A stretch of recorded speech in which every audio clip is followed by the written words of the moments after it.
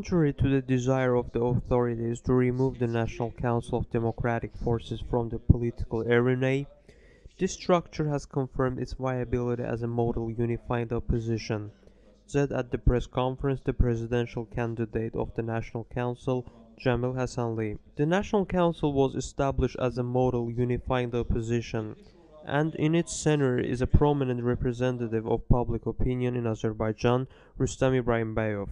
The other day, a delegation of the National Council visited the United Kingdom and had meetings with representatives of the political leaders, experts, and human rights activists.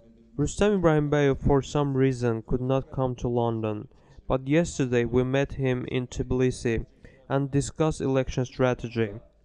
Rustam Ibrahimbayov said that he will continue to lead the election strategy said Hasanli. Referring to the election campaign commenced on September 16th, Hasanli said opportunities for candidates are unequal. For us, the election campaign begins today, while for Ilham Aliyev it started since the announcement of this date. Every day, television stations dedicate him a few hours.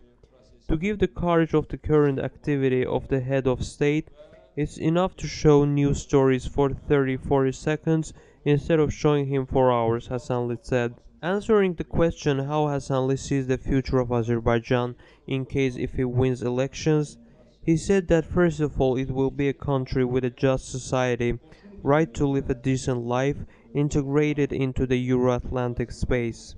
Hasanli condemned the foreign policy of the current government because of Azerbaijan's accession to the non-aligned movement. The country, 20% of whose territories are under occupation, should not be involved in the non-aligned movement, said Hasanli, noting that Azerbaijan should have good neighborly relations and mutually beneficial cooperation with neighboring countries. Referring to the Karabakh conflict, Hasanli expressed the opinion that for the ruling elites of the two countries this issue has become a tool for maintaining power. For 20 years Aliyev's regime has not released even 20 meters of the occupied lands, he said. As for the electoral tactics, the co-chairman of the election headquarters of Hasanli, head of the Supreme Assembly of the Azerbaijani Popular Front Party, Hassan Karimov, said that the National Council has no representatives in election commissions.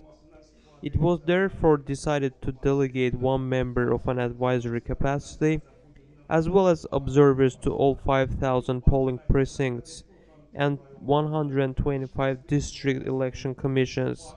He also called a serious violation of the electoral law the distribution, on first day of the academic year, of a book for students and teachers named Baku 2003-2013, which praises Ilham Aliyev.